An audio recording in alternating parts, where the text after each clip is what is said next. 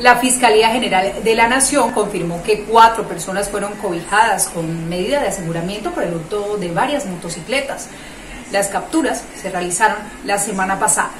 La Fiscalía General de la Nación confirmó que fueron asegurados tres presuntos integrantes de un grupo delincuencial, los aladores, dedicado al hurto de motocicletas en el municipio de Arauca. Estas personas fueron capturadas en el barrio La Victoria bajo la coordinación de la Fiscalía de Arauca, servidores del Cuerpo Técnico de Investigación CTI, con el apoyo de la Policía Nacional en una diligencia de registro y allanamiento, capturaron en flagancia a tres hombres, entre ellos dos extranjeros presuntos integrantes del grupo de delincuencia común organizado, los aladores, dedicado al hurto de motocicleta y falsificación de licencias de tránsito. Los procesados son Jomer Javier Mujica Linares, Jesús Guerrero Mora y Francisco Javier Silva Mejía, quienes fueron judicializados por el delito de hurto calificado y agravado. Durante el procedimiento realizado en esta localidad, las autoridades incautaron dos motocicletas utilizadas para la acción delictiva, parte de las mismas 20 llaves maestras para abrir switches,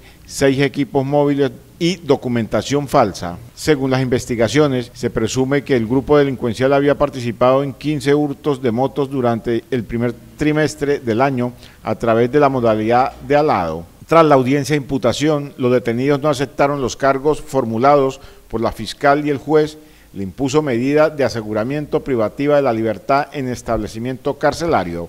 En un trabajo articulado, la seccional de Fiscalías de Arauca, CTI y Policía Nacional se logró impactar un grupo de delincuencia común denominado Los Aladores, dedicado al hurto de motocicletas en la ciudad de Arauca, presentándose la captura de tres de sus presuntos integrantes.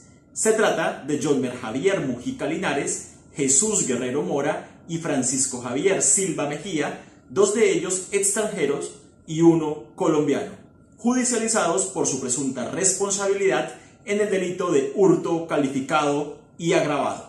Los hombres, al parecer, han participado en la comisión de 15 hurtos de motocicletas en la modalidad de alado en la ciudad de Arauca.